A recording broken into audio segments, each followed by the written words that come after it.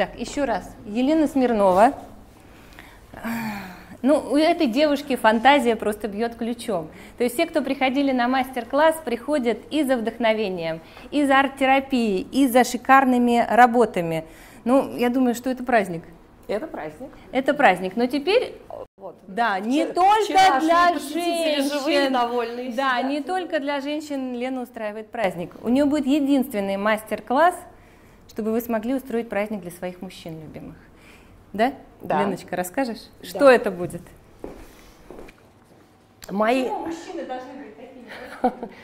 Мои поиски и, как всегда, какие-то творческие ну, пути потребовали чего-то нового. И ну, круг общения достаточно красив. Люди, какие-то искусства, какие-то красивые творческие персонажи. Я понимаю, что они смотрят все время э, ну, на нас, на наши вещи. И мужчины страдают и смотрят, когда же, почему, ну не для нас. С трепетом, ну, ожидая каких-то там ходов. Поэтому сама жизнь и само общение, и сами, и сами мужчины заставили меня и натолкнули на эту мысль. А эксперименты были достаточно, ну, такие длительные. То есть а, э, эта работа с этой аудиторией, она совсем другая. То есть то, что женщины мы себе можем позволить, да, ой, здесь у меня так романтично, ряшечка, здесь у меня чуть-чуть э, неровно, но это хорошо. То есть войлок в прямом, в прямом смысле, в диком, как мы его, допустим, любим, как мы себе это можем позволить, он несколько не подходит им. Слава богу, по природе своей они более консервативные, поэтому, как оказалось, неожиданно найдены были эти варианты равновесия между именно войлоком как войлоком, чтобы его преподнести не как ровный материал, и тем вариантом, которым он нужен. Поэтому Однажды, поставив эксперимент первый, вот этот самый первый пиджак, то есть я угадала ровно в точку. И это, но это, за яркость меня не осуждайте моих работ, потому что у меня пациенты такие. Но приходят, заказывают яркие, говорят, а сделай мне теперь такой же темненький. То есть, но им очень хочется так носить. И делать можно по-разному. Поэтому то, что я показываю, это просто авторские работы ну, для людей на заказ, которые их уже носят. Но тем не менее, несмотря на эту яркость, вот эти вот отделочки, отстрочечки, ровные швы, они, им надо, чтобы сидели плечики, им надо, чтобы были рукава вот какой-то определенной длины и никакой вот лирики. Пуговицы. Мы ходим вместе, выбираем пуговицы прямо. Вот они очень дотошные и аккуратные. Они сами, в общем-то, по большому счету говорят, сделай мне так. Вот им надо было, чтобы классическая форма, чтобы это было, вау, я космонавт. Они выходят, где-то фотография была уже, я фотографию нашла из интернета, то есть тусовка питерская, лала, там уже два моих пиджака, и они там где-то что-то там делают. Хорошо, наполняется нашим войлоком, по крайней мере, они знают, что это можно делать, они знают, что для них тоже можно найти подход. И они, мужчины, очень рады этому. Включая, я говорю, последние два заказа было очень известному режиссеру. Так вот, мне каждый раз вот, Леночка, мы были на очередной тусовке, у кого-то там продюсера, все в шоке. Я говорю, что это вы. Я говорю, ну, пожалуйста, пожалуйста. То есть среда и друзья по, ну, сами помогают, диктуют заказы. Полотна сначала, то есть чем хорошо? Тем, что у нас в войлоке м-м, нету отходов, то есть какие-то были вещи, которые хотелось перешить, перекроить. Но вместе с тем теперь я специально делаю полотна, то есть мы уточняем, какой все-таки расцветки мы хотим, мы уточняем, какой все-таки фактуры мы хотим. Исходя из этого, вы знаете, чем больше я это делаю, тем больше м-м, уже получается красота и разнообразие изделий, потому что вот э, ну, э, целое полотно остаются какие-то, это не, не отходы ни в коем случае, это самое драгоценное то, что есть, потому что ну вот это вот остатки там от жилета, уже можно составлять узоры, пэтчворк, лоскутное шитье и что-то там еще. Фактуры достаточно спокойные, могут быть там однотонные, ну, сжатой структурой. Серенькие, вискозные, то есть я делаю всякие разные работы, поэтому фактуры, ну вот опять же, разные цвета шерсти и вискоза получается, да-да-да, это он, переливистые такие. Я очень люблю... Угу. Я очень люблю применять марлю в том числе и для создания декоративных полотен, потому что, обратите внимание, ниточки, ну, для работы для мужчин несколько ну, консервативнее, чем для нас, но тем не менее можно найти декоративные приемы, эти ниточки или какие-то объемные элементы, которые очень хорошо э, закладываются под марлю и держатся там. Плюс ко всему, когда это садится, это получается прочная, во-первых, фактура, во-вторых, она достаточно живописная. Применение льна, вот этот лен, это у меня литовский лен, который привозила Ольга, но с другой стороны, может быть, можно использовать другое. Это тоже, что им ну, нравится, потому что это материал благородно получается, красиво, хорошо. Фактуры ну, достаточно как это, скромным применением шелковых кусочков, то есть серенькое, зелененьким, ну, такие приемы тоже приемлемые. Поэтому разные цвета, полосочки, с какими-то там с небольшими яркими деталями. Все, в общем-то, вот это можно применять. Разнообразие полотен, просто каждый отдельный заказ, ну, плюс ко всему поиск еще чего-то нового, дает возможность для фантазии. Обработка – это тоже очень важная вещь. Я человек, к сожалению, тоже не шьющий. Вот я шила в детстве, потом я шила что-то там в школе, и потом поняла, что надо, ну, либо человек должен переходить на другой уровень, либо вот школьные шитые вещи ну, уже нельзя носить. То есть вот способности к профессиональному шитью так и нету, но необходимость и желание все-таки есть. Поэтому может быть, это легкая необразованность в этом смысле, может быть, это изобретательность, и тем не менее жесткая необходимость заставляют искать новые какие-то красивые ходы, потому что есть, во-первых, уже какие-то журналы с выкройками, во-вторых, есть машинки, которые нас спасают. В-третьих, вот провести там, прошить на машинке прямой шов, ну, в общем-то, это при большом желании доступно любой женщине.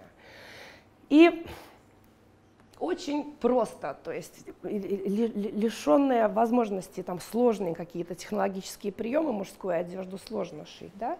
но тем не менее найдены какие-то очень легкие ходы.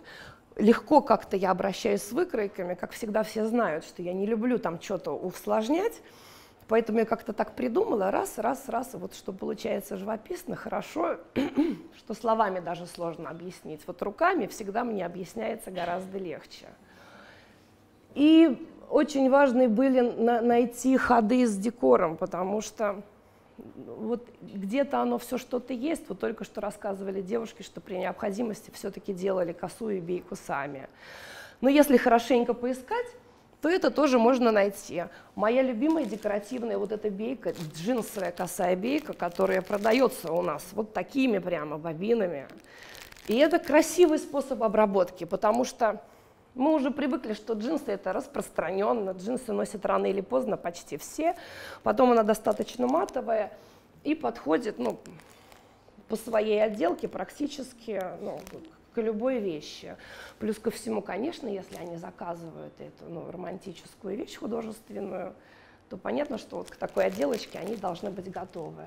Косая бечка вот такая разноцветная для тех, кто любит поживее, я тоже ее очень люблю использовать. Нитки. Когда говорю, что это толстые нитки, прямо это джинсовая отстрочка. Это очень-очень толстые нитки, которые идут поверху декоративными вот этими вот элементами. Ну и также вот опять же я выбираю сдержанные какие-то красивые косые беечки, но, но и, и это все подходит. Потому что, я говорю, лишенная очень, ну, тех, технологизма высокого, все-таки декоративными приемами очень хорошо получается спасти ситуацию. И эти же все приемы, нет у меня просто необходимости и возможность, и заказы сейчас в основном мужские, но все эти приемы можно применять, конечно же, в создании женских жилетов, пальто или чего-то там другого. Я пальто такие шила. Это где-то с прошлого года еще наработки какие-то были. Поэтому главное найти эти приемы, как-то легенько для себя это сделать, задекорировать и показать, сказать, что ах, смотрите, как это красиво. Хочу продолжить тему с бирочками. всем очень нравится, когда мы нашиваем вот эти бирочки. В моем исполнении это выглядит так. Как я это придумала, я тоже не помню, но я пришла к подруге, она у меня занималась печатями. я говорю, слушай, я вот представила, что на киперной ленте так красиво печать стоит. Я говорю, ну, объяснила свою задачу. Говорю, вот у меня одежда, чтобы ее там постирать или почистить. Она говорит, хорошо, без проблем, продается же специальная тушь, которую раньше ставили в прачечной штампике. И совершенно великолепно мы вышли из этой ситуации. Мне сделали вот такую вот простую печать штампик. Подушечку мы промазали тушью. И я, пожалуйста, вот эта красивая киперная лента, которая подороже, она бывает всех цветов зелененькая, красненькая, интеллигентная, серая. Я просто штамплю ее беспощадно в любых количествах. И я ее пришивала специально к чему-то, чтобы постирать. Я ее стирала, она стирается, носится, то есть в машинке стирается, она носится. Поэтому мой вариант исполнения бирочек, он вот такой вот, плюс ко всему еще, ну как-то к войлоку подходит очень живописно и природно. То есть еще более простой вариант. Так что мужской войлок – востребован, желанен, и надо просто где-то соблюдать деликатность и слушать их пожелания. Я хочу пригласить, у меня тут группа поддержки есть.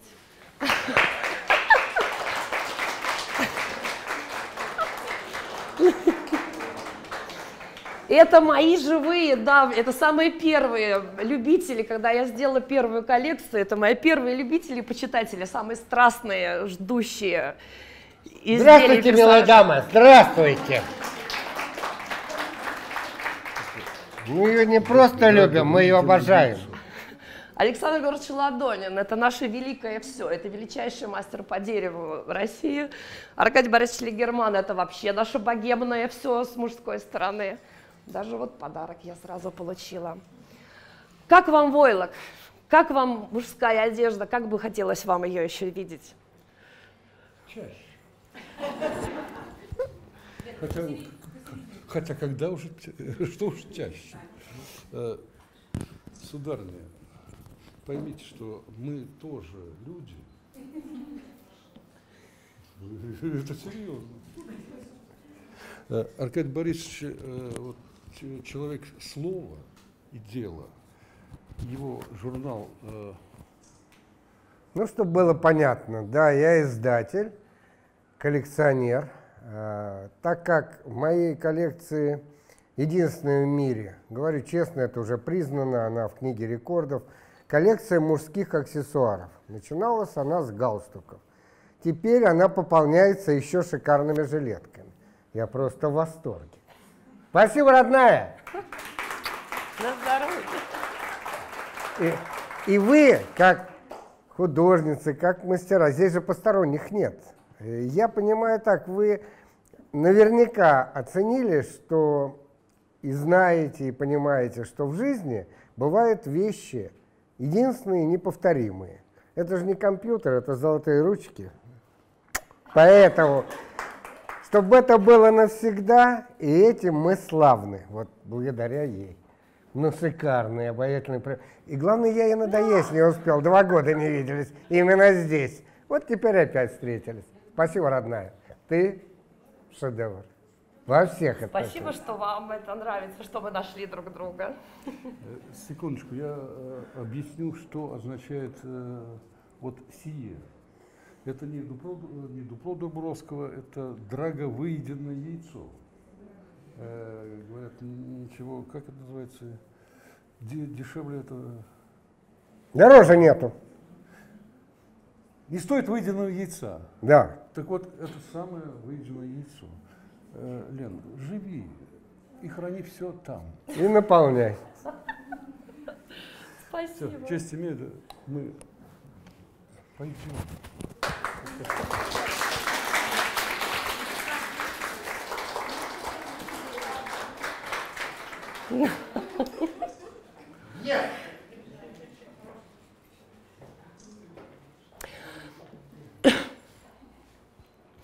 вот, в общем-то, хотела еще раз сказать, что один раз, потому что когда мы выходим, вот это все трогается, щупается, и Один раз я решила показать это, как делается, потому что это не моя стезя, я вовсе не швейник, но поскольку вот так вот лихо я с этим справляюсь, мастер-класс по жилетам через неделю, то есть на два дня я предлагаю его сделать, чтобы мы наваляли полотен уже, потому что вот прямо, ну, фантазии много, то есть мы сможем выбрать, подобрать что-то, обсудить, дома доделать полотна, а через день пошить, потому что я не шьющий человек, я этот жилет, сейчас скажу между нами, шью три часа.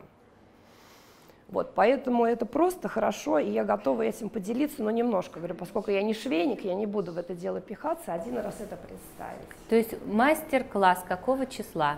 18 числа 18 июня валяют полотна. Да, 20 июня 20 вы собираете. То есть размеры какие могут женщины выбрать от любые? От, от, от, от 44 да, пожалуйста, до 62 -го. Я для этого дела вот уже приготовила, то есть это я в шкатулочку привезла, но это именно для нашего мастер-класса, то есть по продаже там останется остаточными методами. Я уже подготовилась, чтобы никому ничего не искать, все красивые штучки у меня уже готовы, и мы вот этот разочек сделаем, да.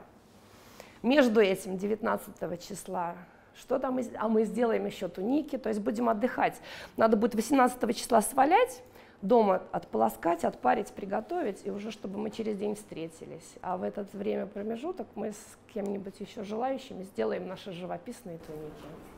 Понятно. Леночка, а вот только мужские можно, да, в этот день делать? Это... Если вдруг, ну вот, ну нет у меня мужчины, а жилет мне такой хочется с такой отделкой сделать себе. Пожалуйста, только а, мужские женские выкройки, не будет ли потребности как-то их исправлять. То есть жилет все-таки это оптимальный вариант, тогда может быть ну, как-то сказать мне об этом, что ли, чтобы позаботиться о том, чтобы выкройку жилета женского либо поискать, либо подготовить.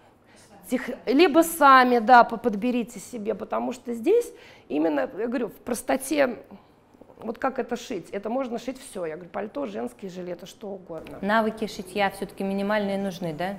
На машинке прямо шить. Машинки ну, все в моем есть, случае, да, да. Да, да, сильно не придираться к этому, на машинке прямо шить, потому что жилет, именно я и выбрала, что оно предполагает все-таки какую-то легкость конструкции и универсальность. Леночка, спасибо большое за праздник, за мужчин таких красивых. Наглядные примеры. Да, наглядные, наглядные они, примеры. они действительно их носят. И в Питере мы видели, когда приезжали и им нравится, они чувствуют себя комфортно. Я думала, боже мой, что там за мужчины наденут жилет? А они по-другому сами выглядят. Поэтому не бойтесь для своих мужчин, ну, может быть, не так э, ярко сделать, но все-таки... Это мои, я говорю, просто да. такое. Ну, вот-вот, как доказательство, что я делаю иногда, но я с ними реже общаюсь. Леночка, спасибо большое. И приглашаем, ждем вас на мастер-класс на мастер-классах. И еще хочу сказать перед завершением, что у нас горячий июнь-июль, кроме мастер-классов э, Лены Смирновой, у нас приезжает э, Света Вронская, у них совместный мастер-класс с Аленой Селезневой. Там есть еще, по-моему, два места, на, ну, это мастер-шоу будет, э, два места на это мастер-шоу будет э, Алена Селезнева, ну там уже, к сожалению, мест нет, Катя Коршун, то есть посмотрите на расписание, у нас очень много такая, ну, насыщенное, насыщенное лето, жаркое. В июле будем делать кардиган и итальянский летний жилет, в котором я хожу белыми ночами, ажурный. Так что милости просим. Спасибо, спасибо. Леночка, я тебя раздеваю.